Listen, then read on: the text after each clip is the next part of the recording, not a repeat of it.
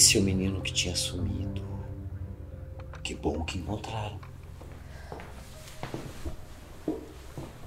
O que que aconteceu? Sumiu do nada.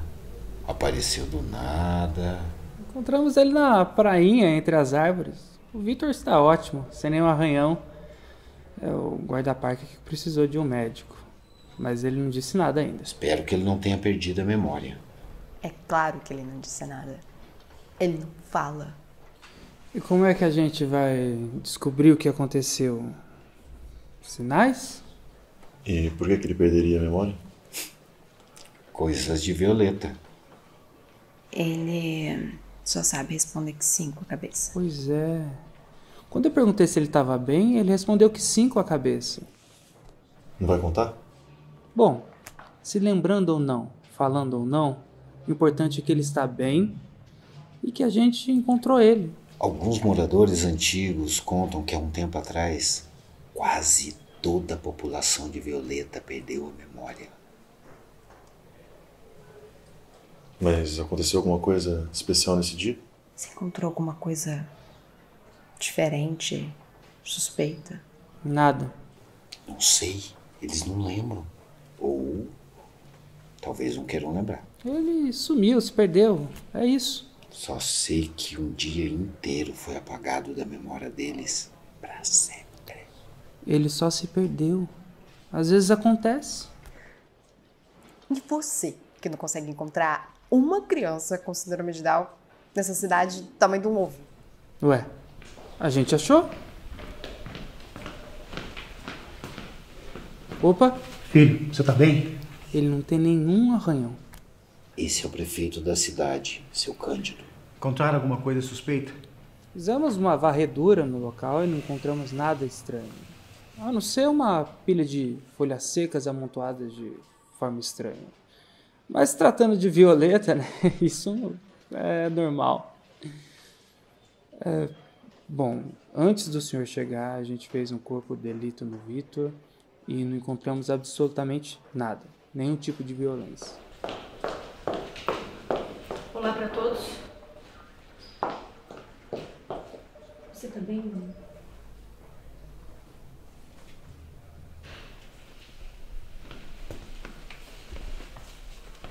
Botei o senhor, hein? Prefeito Cândido, qual a sua graça? Albano. Muito prazer.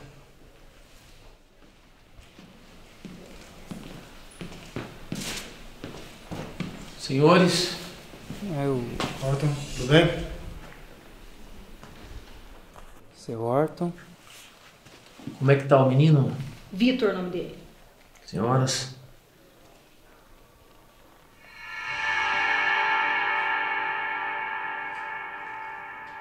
Quem é o delinquente? Arruaceiro. Quem é você? Albano. Antes que me pergunta, já vou falando que eu sou neurocientista. Eu sou, na verdade, eu era professor universitário e eu estou aqui na cidade para fazer uma pesquisa científica com o Alan Crivelli. Aliás, alguém conhece o Alan?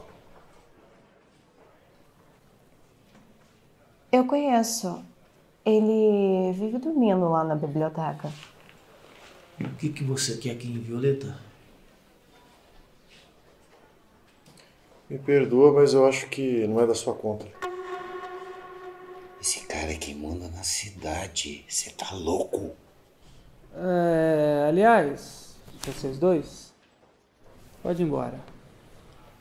Como é? Quem te contratou? Quem é teu chefe? Ninguém, eu não tenho dono. Posso ir?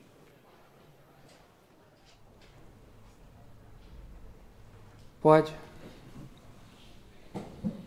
Mas é um frouxo mesmo. Oh, isso é desacato, hein?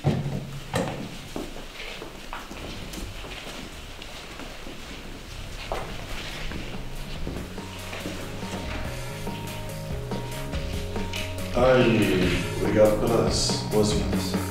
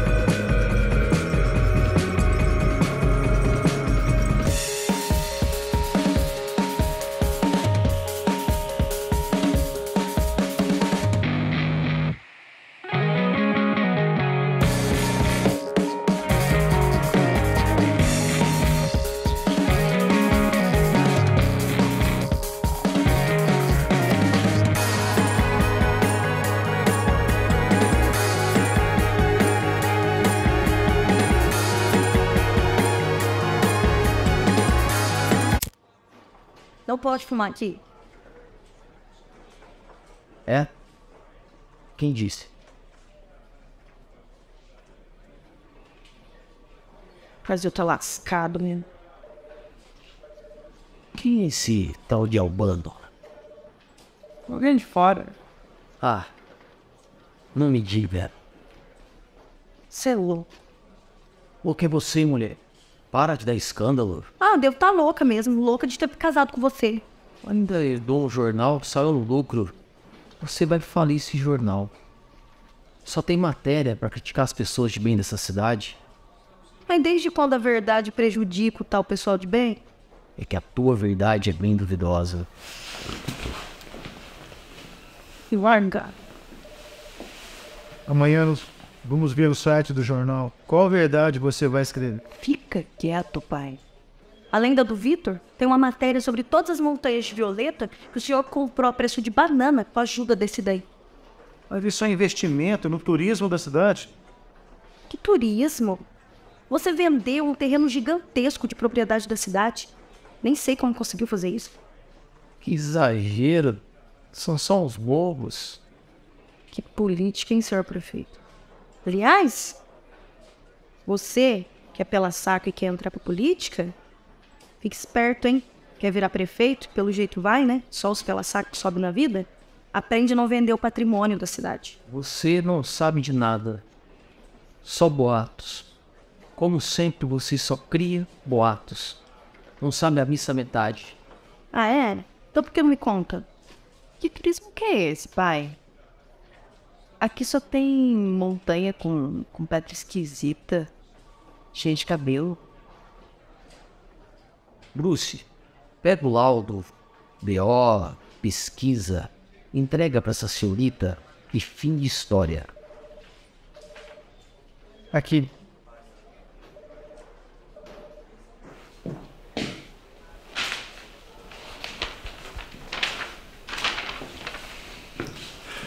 Ninguém gosta de passear ou fazer negócios em cidades onde pessoas costumam sumir. Ai, chega. Eu vou embora. Daí,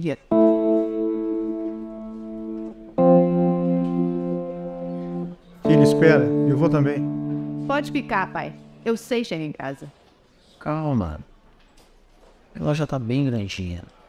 Não se esqueçam que ele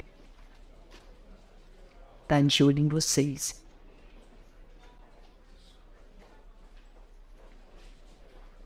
Pro bem de todos aqui dessa sala, esquece o caso Victor. Pai dele não quer exposição. Respeita isso.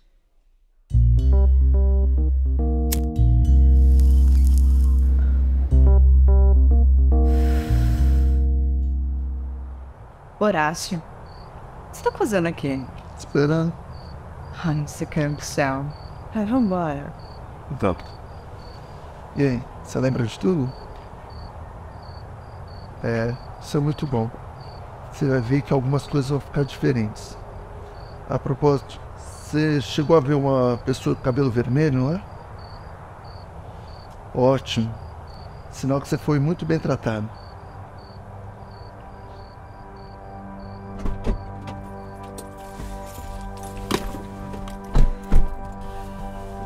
Dirige, vai.